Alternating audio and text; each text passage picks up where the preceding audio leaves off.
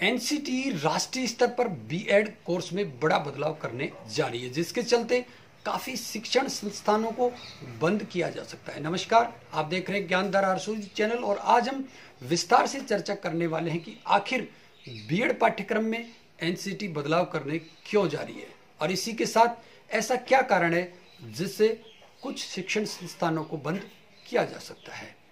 देश में टीचर और स्टूडेंट्स का यदि हम रेशो देखें तो एक अनुपात 28 है। यानी हर 28 स्टूडेंट्स पर एक शिक्षक होना चाहिए।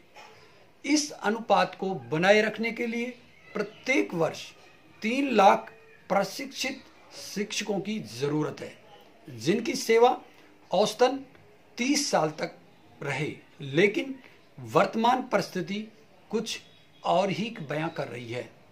हमारे देश में प्रत्येक वर्ष 19 लाख अभ्यर्थी शिक्षक प्रशिक्षण संस्थानों में एडमिशन ले रहे हैं। यानी जितने शिक्षकों की ज़रूरत है, उससे 16 लाख ज़्यादा शिक्षक प्रशिक्षण संस्थानों में प्रशिक्षित किए जा रहे हैं। यहाँ मांग से कहीं ज़्यादा सप्लाई हो रही है, लेकिन ज़्यादा वक्त तक ऐसा खेल नहीं चलेगा। बीएड की शिक्षा में चल रहे इस तरह के प्रबंधकीय मैनेजमेंट अर्थात जो ये खामी चल रही है, उसको दूर करने के लिए एनसीटी कई कड़े फैसले लेने जा रही है।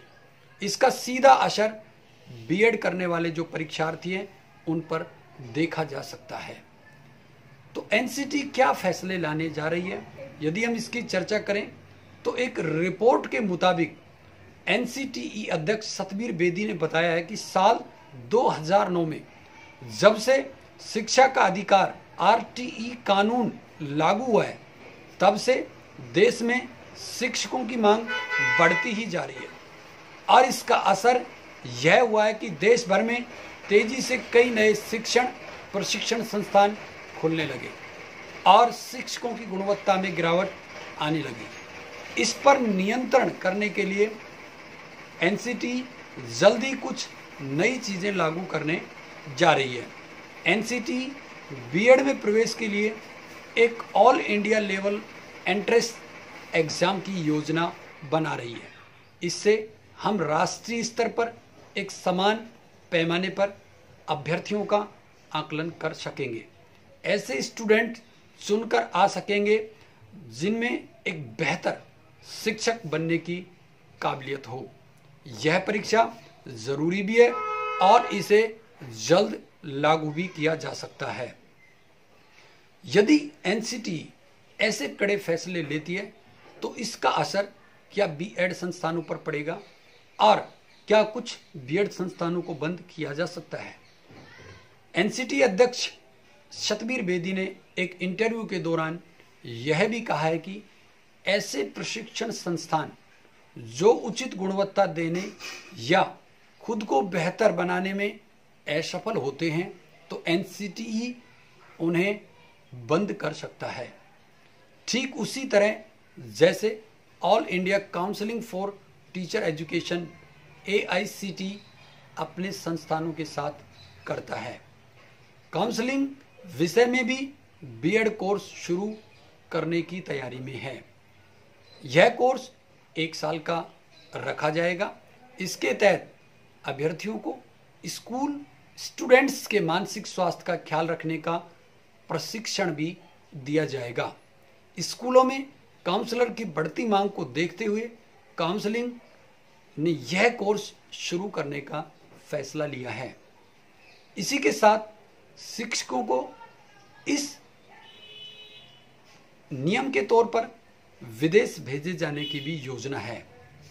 एनसीटी अध्यक्ष सतबीर बेदी ने बताया कि एनसीटी शिक्षकों को विदेश के स्कूलों में पढ़ाने लायक बनाने के तरीकों पर भी फोकस कर रहा है। ऐसा इसलिए क्योंकि अलग अलग देशों में ऐसे कई ग्लोबल स्कूल हैं जिन्हें भारतीय शिक्षकों की ज़रूरत है। खास तौर पर यदि हम देखें तो गणित, अंग्रेज़ी और विज्ञान जैसे विषयों के लिए इनकी ज़्यादा मांग है। तो इस प्रकार से एन बीएड कोर्स के में एक नया फैसला, कड़ा फैसला ले सकती है। इस, ऐसा करने पर शिक्षकों की गुणवत्ता में तो सुधार आएगा ही। साथ ही जो शिक्षण संस्थान बेलगाम गति से खुलते जा रहे हैं, उन पर भी नकेल कसी जा सकेगी। तो ऐसे में हम उम्मीद कर सकते हैं कि भारतीय समाज को ग्रामीण स्तर पर, शहरी स्तर पर बच्चों को शिक्षा देने के लिए अच्छे शिक्षक उपलब्ध हो सकेंगे। तो आज के इस वीडियो में खास तौर पर आपके लिए बीएड प्रशिक्षणार्थियों के लिए या जो बीएड कर चुके हैं, ऐसे प्रशिक्षणार्थियों के लिए विशेष योजना एनसीटी के द्वारा लाई जा रही है। यही आज इस वीडियो में बताने का उद्देश्य था। यदि आप इसी प्रकार बीएड बीएसटीसी या सभी प्रकार के प्रतियोगिता परीक्षाओं से संबंधित तमाम जानकारी समय पर पाना चाहते हैं तो लगातार जुड़े रहिए ज्ञानधारा हरसोली चैनल के साथ में और चैनल पर पहले बार विज़िट कर रहे हैं तो इस प्रकार की प्रत्येक भी अपडेट्स आपसे मिस नहीं हो, इसके लिए आप चैनल को सब्सक्राइब अवश्य कर लें। आज के इस पार्ट में इतना ही। नमस्कार।